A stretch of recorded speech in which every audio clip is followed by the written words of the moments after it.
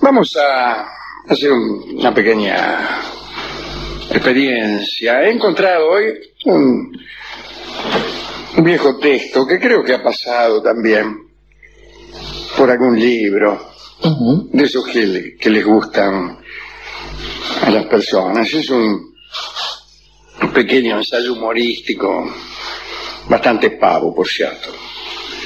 Se llama Condensación y Expansión Y tiene algunos, algunas consideraciones y algunos ejemplos sobre eh, formas artísticas o eh, obras artísticas eh, expandidas, y alargadas, estiradas, llevadas al máximo en su extensión, y otras, por el contrario, reducidas a su expresión mínima. Bien. Y dice así. Libros expandidos, como primer ejemplo. Dice, todos conocemos el éxito de los libros condensados. Se trata de tomar una obra cualquiera, Crimen y Castigo, por ejemplo, y reducirla a las dimensiones exigidas por las personas apuradas. De este modo, si una novela tiene 400 páginas, la condensación tendrá 40, para alegría de tanta gente que cuando oye hablar de un libro no desea leerlo, sino haberlo leído. Es posible imaginar una actividad opuesta a la condensación. Algunos han imaginado que se puede realizar la tarea eh, que consiste en expandirle. Se trata de tomar un texto, la novela Crimen y Castigo, ya que estamos, y estirarlo lo más posible. Bueno, de este modo, si la versión original constara, como hemos dicho, de 400 páginas, el proceso de extensión la llevaría a 4.000. Examinemos el mecanismo a seguir. Si en la novela original el protagonista se dispusiera a cambiar de vereda, Ajá. Dostoyevsky resolvería la situación del modo siguiente. Raskolnikov cruzó la calle, o se dispuso a cruzar la calle.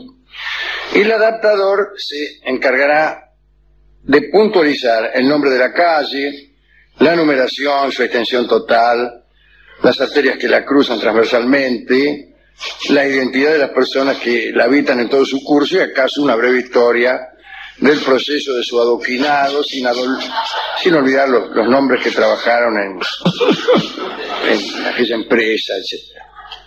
Enciende alguien un cigarrillo, inmediatamente se indicará su marca y se escribirá un capítulo entero sobre el tabaco, su importancia comercial, sus características principales y el daño que hace a la salud. Los personajes secundarios deberán ser descritos, identificados y aclarados en todos los aspectos de su carácter, aunque se trate apenas de la persona que ha encendido una luz que se ve a lo lejos. Las objeciones a esta idea, bueno, son muchas para que negar. Ujú. Los libros resultarían más caros. Cabe preguntarse quiénes podrían ser sus lectores. La respuesta surge inmediatamente. Así como los libros condensados son consumidos por gente escasa de tiempo y dinero, las obras expandidas estarían destinadas a quienes tienen dinero y tiempo de sobra.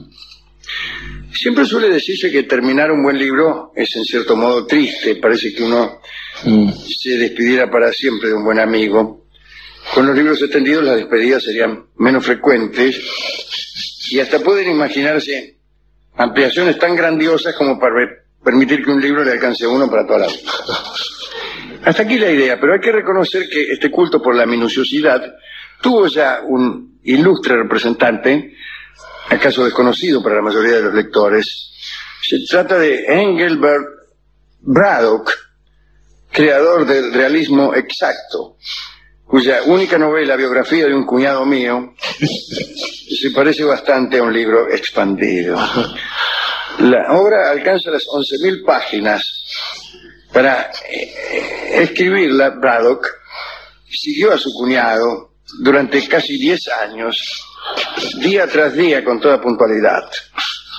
Su pluma implacable describió todos y cada uno de los actos del protagonista, por insignificantes que parecieran. Tan riguroso fue su seguimiento que casi no le quedaba tiempo para escribir. Según él mismo, este, aprovechaba las horas en que su cuñado dormía. Si el libro no resulta demasiado divertido, la culpa no es de Braddock, eh, sino más bien de su cuñado, un hombre de hábitos tan rutinarios que hay capítulos que son copias exactas del anterior. El héroe de la novela vendía fichas para el subterráneo y el autor registra textualmente las miles y miles de pequeñas transacciones que tuvieron lugar en 10 años. Y así, tras un señor que compra dos fichas, viene otro que pide cuatro, y después otro que quiere seis, más atrás una dama que necesita tres. De este modo, así, atravesando pampas de aburrimiento, se llega a la página 4034. Allí el protagonista gana un perro de yeso en una kermés. Y esto parece aumentar el interés de la obra, pero luego la acción decae nuevamente. Aunque el perro de yeso suele aparecer cada tanto en otros episodios menores. Biografía de un cuñado mío no es una obra completa, sino apenas la primera parte de un trabajo más extenso. Braddock está escribiendo la continuación. Tomemos ejemplo de la tenacidad de este hombre cuya tarea solo encontrará fin con su muerte o acaso con la de su cuñado. Mm. Una reflexión última. La obra de Braddock, como la idea de los libros expandidos, es una vana tentativa de oponerse a una verdad inapelable, todo libro es una condensación. Mm, claro. Cortísimos metrajes. La idea de hacer películas de corta duración no es nueva. En realidad las primeras obras del cine eran muy breves. Después, el progreso del lenguaje cinematográfico estableció ciertas convenciones, una de las cuales parece establecer que una buena cinta debe durar por lo menos una hora y pico. El cortometraje floreció apenas como un género menor reservado a los cineastas bisonios y a los canadienses. Hace unos años un creador genial, Laszlo Martok, sorprendió a sus conocidos con la realización de los llamados cortísimos metrajes. Se trataba, como el nombre ya nos lo hace sospechar, de películas breves, la más extensa de las cuales apenas superaba los 12 segundos. El realizador perseguía con estos dos objetivos principales. Primero, lograr una síntesis conceptual. Segundo, ahorrar películas. De estas dos metas, la que se alcanzó sin lugar a dudas fue la segunda. Pasemos revista a la filmografía de Martok. Su primer intento se remonta a 1963. En ese año estrena Vida de Johann Sebastian Bach, un drama histórico de nueve segundos. En la primera escena se ve al insigne músico sentado ante una partitura inconclusa. Mm. La segunda nos lo muestra en su vejez, rodeado de sus hijos, y la tercera muestra su silla vacía con la que se sugiere que el genio ha muerto. Qué bueno. La palabra fin disipa las eventuales dudas acerca de la continuación de la obra.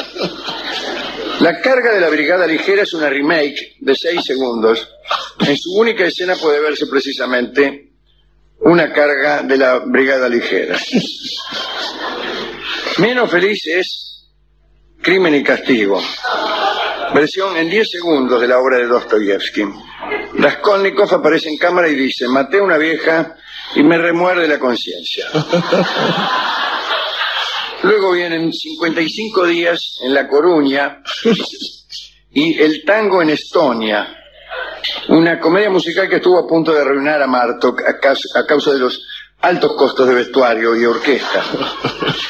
En 1968 filma El Suspiro, un film que dura lo que un suspiro. Y es solamente eso, un suspiro. Incursiona más tarde en el género cómico con Mi marido es un salame, una película menor destinada al gran público e inspirada en el deseo de obtener réditos a cualquier precio. Su duración fue de cuatro segundos. Ya en el ocaso de su poder creativo, Marto filmó 20.000 leguas de viaje submarino, una historia en 10 segundos, en cada uno de los cuales el Nautilus recorría 2.000 leguas.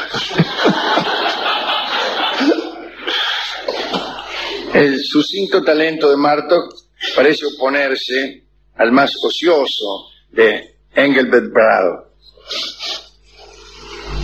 Sin embargo, ambos quisieron vanamente reflejar la realidad. El uno totalmente, el otro, el otro discúlpeme, en forma harto fragmentaria. El tema de este asunto es la misión del artista. El reflejo, la creación de otra realidad, su reducción, su expansión. Las dimensiones, Alejandro, son algo que ha movido a muchas personas a reflexionar para poder este, sacar de ahí alguna teoría. Dice algún artista justamente que los gatos existen para que un hombre sepa lo que es acariciar un tigre y habla de una forma de las dimensiones. Pero estaba pensando que desde Braddock hasta Martok este, hay mucha gente que se ha acercado a estas cosas. Por ejemplo, no estaba anotando por allí. Eh, hay canciones que son efectivamente la condensación de otro tipo de relatos. Hemos descubierto una aquí en el programa hace muchos años. Eh, el viejo vals es un resumen de La Gran Aldea de Vicente Fidel López, por ejemplo, donde cuenta la historia de la chica y qué sé yo. Pero después, si uno se fija en los teleteatros, no son otra cosa que el arte de Braddock llevado a su este, más este, alto nivel. Por ejemplo, una escena en, la cual Pablo Echarri está por decirle a este, Florencia Peña que es una pésima esposa, pero este, es mejor que no se dedique a ser actriz en el marco de una novela de Dumas, puede llevar absolutamente seis horas, por ejemplo, y ninguno de los dos se da cuenta de lo que están diciendo. Es, una forma artística, es una experiencia que se está haciendo. es una forma experimental de ver cómo una escena puede eh, extenderse ad náusea. Si un tipo está por darle un beso a una mina y tarda lo que tarda un, actor de teleteatro en hacerlo, no hay mina que resista esto, no hay mina que no envejezca este al lado de esa situación. Pero después, están, eh, el cine también lo ha intentado con las precuelas. Fíjese que ahora no basta con haber disfrutado de, por ejemplo, eh, Hannibal, la película esta sobre el asesino serial, sino que hay que enterarse qué pasaba antes de que el tipo naciera. ¿Qué pasaba después? Pero parece la vida de, nuestro amigo Gaby Rolón, que si después qué pasa, qué sé yo qué pasa la película se acabó para siempre ahí. Y eso es una... Es una o, la, espantosa serie Lost. Por ejemplo, este, eh, Lost, esas. Sí.